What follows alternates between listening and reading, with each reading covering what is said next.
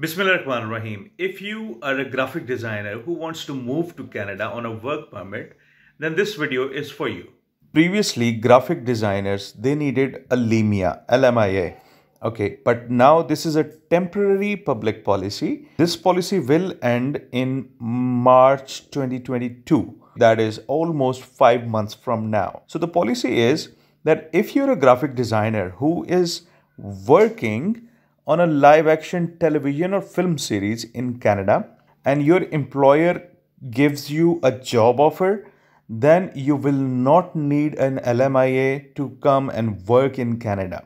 As we all know that uh, Canadian economy has a fair share of uh, film industry. In 2019, $12 billion was the share of film industry in Canada so if you want to be eligible, these are the eligibility criteria. I would leave the link in the description below.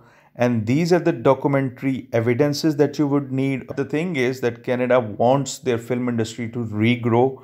All right. And for that purpose, they have um, announced this temporary public policy so that if you are a graphic designer and your employer is filming in Canada, whether it is a TV series or a film, uh, and you are involved in that, whether in a production stage or a post-production stage or a pre-production stage, then you can move to Canada on a work permit. And if your work permit is expiring, then also you can apply for extension. So this is a great opportunity for the graphic designers to avail a work permit without the need of going through an LMIA. Now this is a short-term policy, so make sure if you are eligible for it, please apply as soon as possible.